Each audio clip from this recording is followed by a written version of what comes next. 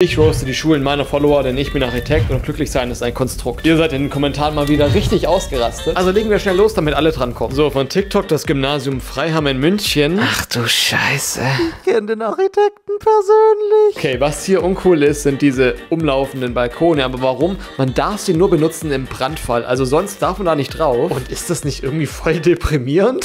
So, von Instagram das Wiener Waldgymnasium in Tullnerbach-Pressbaum. Junge, was ein Name. Boah, okay, ihr macht es mir echt immer schwerer mittlerweile. Aber wisst ihr was? Diese Schallschutzelemente, die überall an den Decken hängen, das sieht aus, als ob jemand da seine nassen Unterhosen aufgehängt hätte.